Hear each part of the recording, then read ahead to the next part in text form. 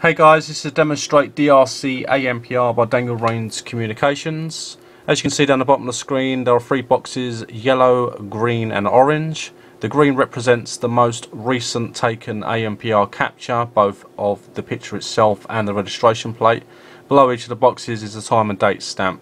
The green represents the most recent one, the yellow one the one before, and the orange represents whatever's been selected in the captured plate's log. So whatever you would select would then show you the picture along with the time and date stamp and the registration number. So as we see on see the oncoming vehicle now at YK04UUJ the yellow box will change to that registration number being the most recent. So there we go YK04UUJ.